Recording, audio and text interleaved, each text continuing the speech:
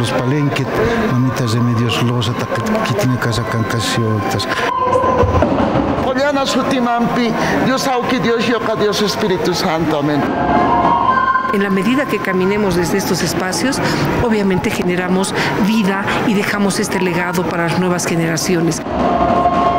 Esta es la memoria cultural de los bolivianos, con el tradicional llamado Jahuilla Jahuilla en Aymara. Este 1 de noviembre recibimos a los ajayos, las almas, en la Mesa de Todos Santos, armada con elementos tradicionales de la festividad en el Hacha Estudio de RTP Bolivia de la ciudad de los Andes, El Alto. Este medio de comunicación es más que un medio de comunicación, es un tejido de la vida, es un haber caminado juntos, es un haber eh, llevado procesos de cambio importantes, es eh, restituir, digamos, el orden y eso es lo que hemos estado haciendo todos estos años desde que RTP está en realidad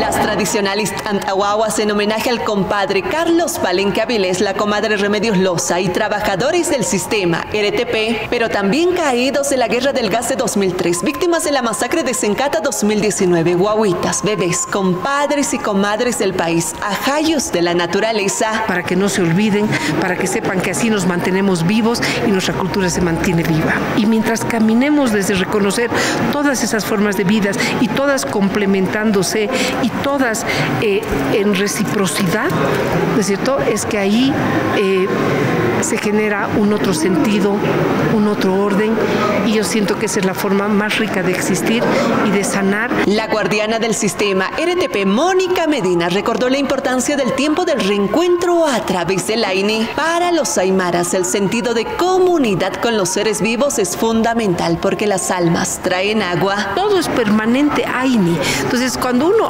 amplifica este su sentido de comunidad, ahí vamos a entender la importancia de volver a restituir el orden más importante de la vida.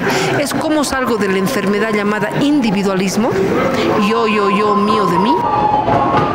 Si bien en mi casa mi mamá, como lo recordábamos en la tribuna, hacía una mesita igual chiquita con la foto de mi papá, le ponía su sartita de pollo, su chairito, eh, que era la forma en la que ella me estaba transmitiendo esta celebración hoy en el país se celebra mucho más que antes. Jorge Luis Palenque, gerente general de RTP Bolivia, recordó la necesidad de interconexión con las almas, que inició con una mesa para su padre, el compadre Carlos Palenque, y ahora es un tiempo de reencuentro y honrar a la comunidad de la vida. De pensar en que todo, todo lo que dejado de ser, también hay que hacerle, hay que honrar